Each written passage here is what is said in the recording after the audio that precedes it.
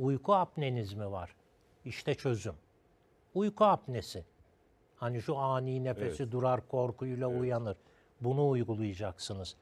Ama açık alan tarımında yetişen lahanayı kullanacaksınız. Bunun en dış yaprağı geniş. Bir tane alacaksınız. Yarım litre su içinde ağzı kapalı yaprakları parçalayıp içine atın. 15 dakika Hüseyin bak 15 dakika kaynatacaksın bunu. Evet. Ondan sonra sen bunu gün içerisinde tüket.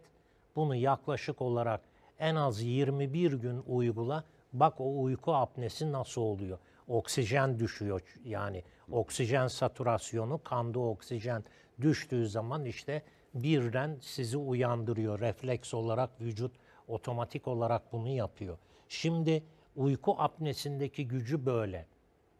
Hele hele kronikleşmiş ise bu, akşamları da bir çay bardağı da hazırlayacağınız 40 kilit bitkisinin çayıyla 5-6 dakika kaynatıp beraberinde içecek. Yani öğleden sonraya kadar o yarım litreyi siz bitiriyorsunuz. Bir defada içmenize gerek yok.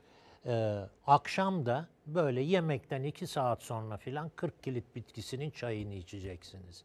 Yani bitiyor, bitirir şeyi, uyku apnesini Allahın izni ilə.